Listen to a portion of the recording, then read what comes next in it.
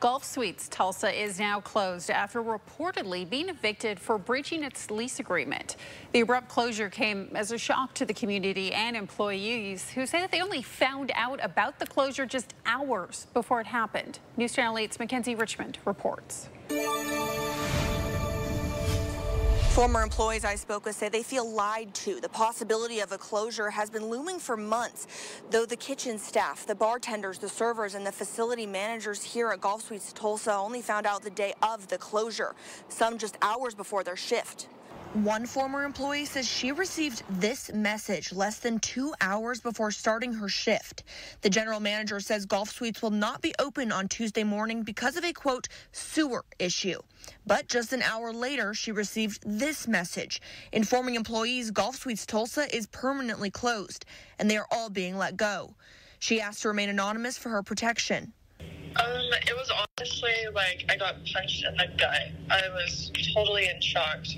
Employees did not receive any warning or phone call, just one group message sent to dozens of employees.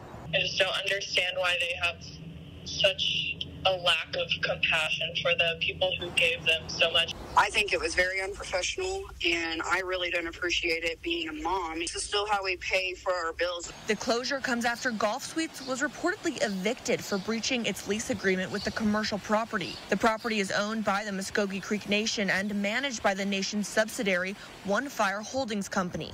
According to the Jenks Riverwalk, One Fire has tried to negotiate with Golf Suites on its tenancy since December of 2022.